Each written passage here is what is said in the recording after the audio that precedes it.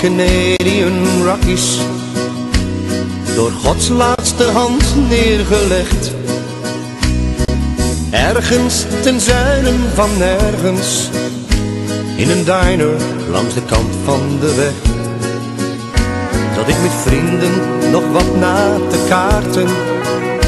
Voor onze reis terug naar Amsterdam. Toen ik zag hoe een rots van een kerel opstond en mijn richting opkwam. Zijn blik was kil en verbeten. Het werd stil in het restaurant.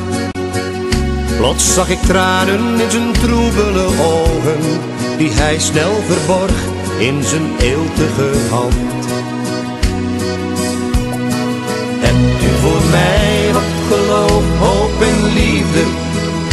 Alsjeblieft, want mijn hart dat is blut.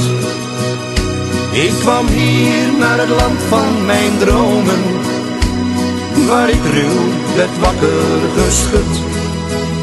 Ik hoor u praten over dierbare plekjes, die ik graag nog eens zag voor een keer. Als er grond was tussen hier en mijn Holland, begon ik nu nog te lopen, meneer.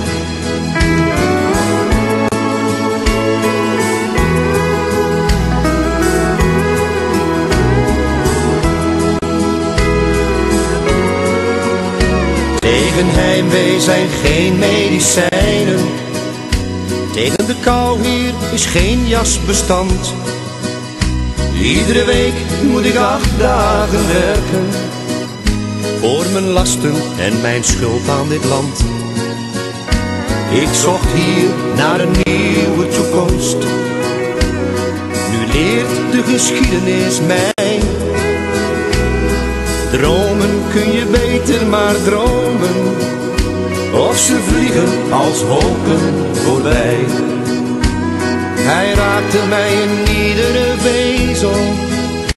En in het diepst van mijn hart toen hij vroeg.